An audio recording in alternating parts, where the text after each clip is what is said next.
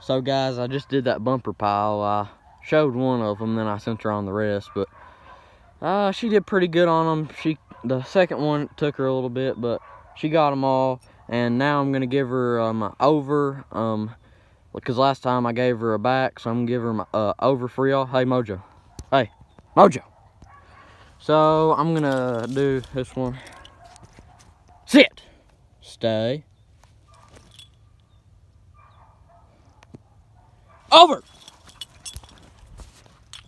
Good girl, here. Good girl, here. Hey, heel. Sit. Yeah.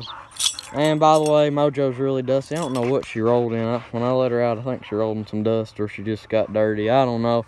Need to give her a bath. So yeah. Um, she's doing good. I'm gonna try to get um start. I'm been bad about not training every day, but I need to train about five or six times a week to make her good on backs and overs because that's what we're gonna be working on this season and blinds. And uh, might run her in a hunt test. I don't know. Uh, it's not the start hunt test, but the midway hunt test. We're, we're not, um, so hopefully we can run her in one. I know she got the nose for a good blind retrieve, but I just need to work. Um, our trust level needs to work on, or trust me, but we need to work on. When I send her, she's gonna go forever and not go to the right or left. She's gonna run a straight line.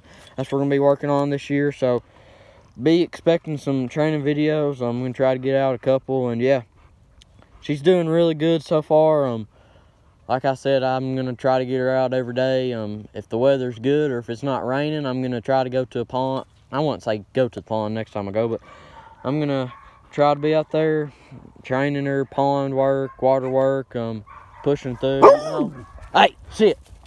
So yeah.